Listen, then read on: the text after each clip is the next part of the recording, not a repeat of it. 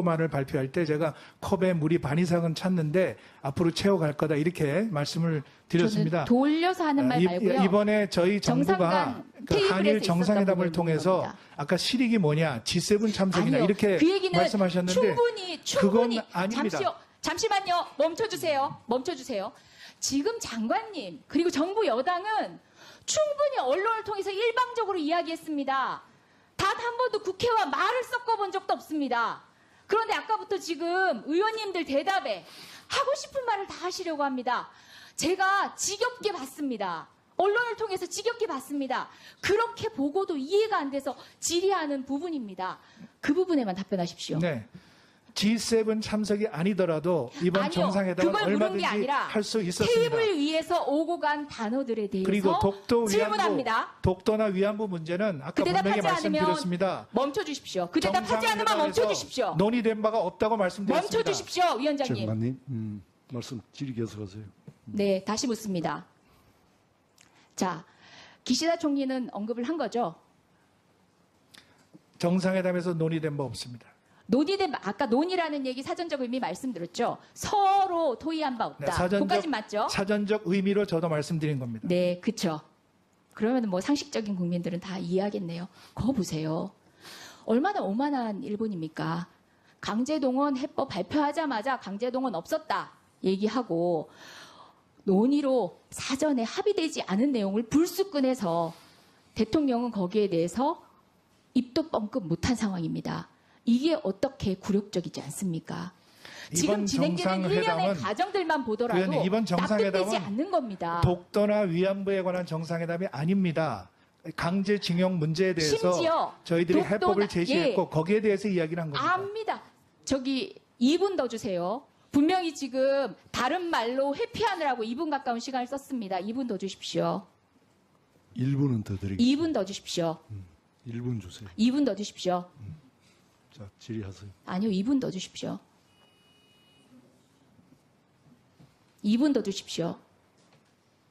그 추가할 때 더 드릴게요. 아니요, 2분 처음부터 더 주십시오.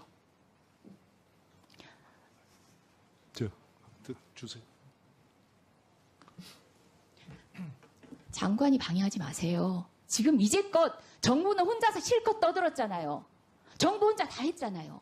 의원이 질의하는 내용에만 답변을 하세요. 질문하시면 굴욕적이라고. 굴욕적이라고 질문해 이유가 바로 바랍니다. 거기에 있습니다. 바로 거기에 있습니다.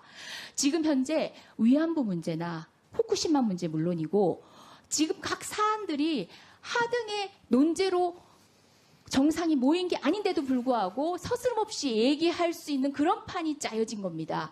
그게 바로 대한민국 국민들이 정상회담 성과는 찾기 어렵고 이 정상회담 진행 자체가 모욕적이고 굴욕적이라고 얘기한 겁니다. 우리도 우리나라 대한민국 대통령 극진히 대접받기를 바랍니다.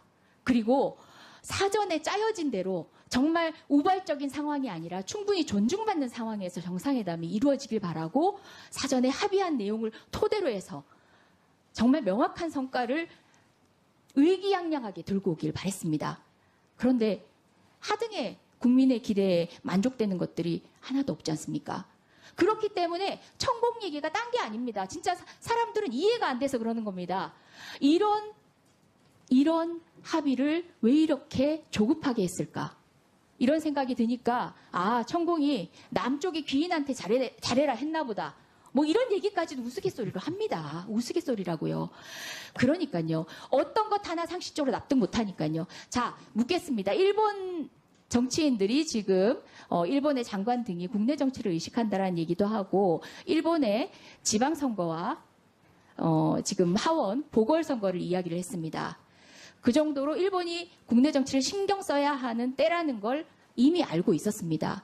그러면 좋습니다. 최소한 4월 일본의 지방선거가 끝난 이후에 협상할 생각은 못했습니까? 일본이 국내 정치를 의식하느라고 사치도 양보를 안 할 거라는 게 자명한 상황에서 이렇게 무리해서 추진됐어야 할까요? G7 말고 다른 이유 있습니까? 어, 일본의 정치 상황은 저희가 고려는 했지만 그것이 모든 것을 결정하는 것은 아닙니다. 그리고 이번 정상회담의 실익과 성과는 가시적으로 앞으로 실현될 것입니다.